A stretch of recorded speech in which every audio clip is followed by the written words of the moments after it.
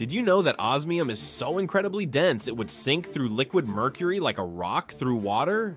This rare metal is twice as dense as lead and holds the title of densest natural element on Earth. Picture this. A coffee cup filled with osmium would weigh 50 pounds and cost over $400,000. To put that in perspective, osmium has a density of 22.6 grams per cubic centimeter. A golf ball made of this metal would weigh 8 pounds and crack concrete floors when dropped. What makes this even more mind-blowing is how rare osmium actually is. All the osmium ever refined in human history would fit inside a single bedroom. The entire world's supply could literally be stored in your house. This scarcity is why it costs more than gold, platinum, and even some diamonds. Here's the kicker, osmium is so dense it makes gold feel as light as aluminum by comparison. The densest element nature ever created challenges everything we think we know about weight.